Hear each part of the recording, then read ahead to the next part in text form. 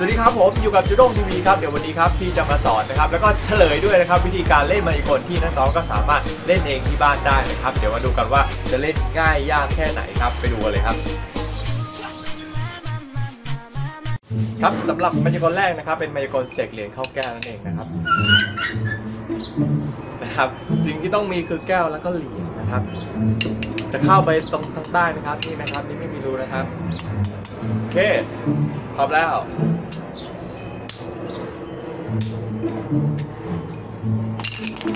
โอ้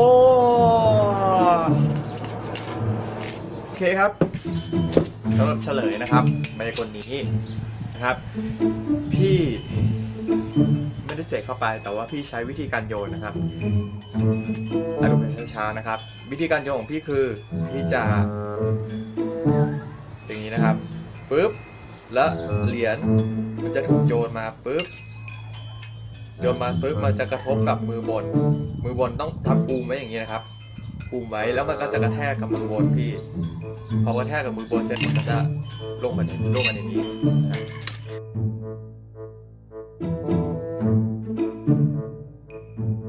ครับสำหรับมายากลต่อไปนะครับ เป็นมายากลเผา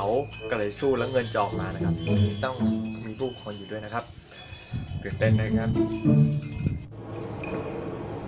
คร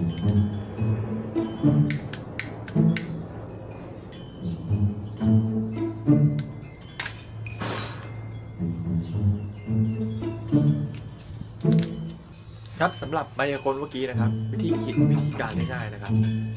คือเราพับแบงนะครับให้เล็กที่สุดนะครับประมาณนี้และเอายัดไว้ตรงนี้ครับ ใช่ไหมครับพอไฟเริ่มไหม้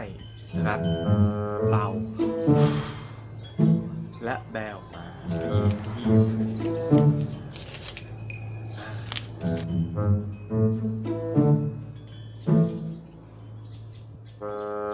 ที่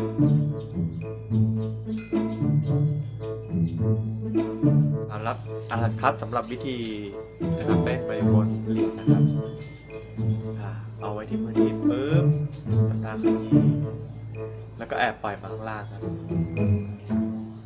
จะช้าชวบเห็นไหมเป็นคนขยี้แอบปล่อยมาข้างล่างปึ๊บเป๊ะเป็นทีชึบอ่า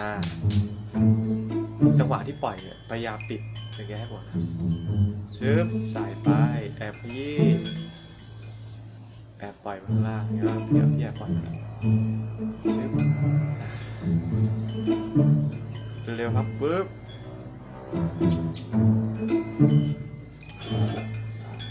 ชึบอะจะเห็นนะคนเนี้ยชึบปึ๊บแอบปล่อย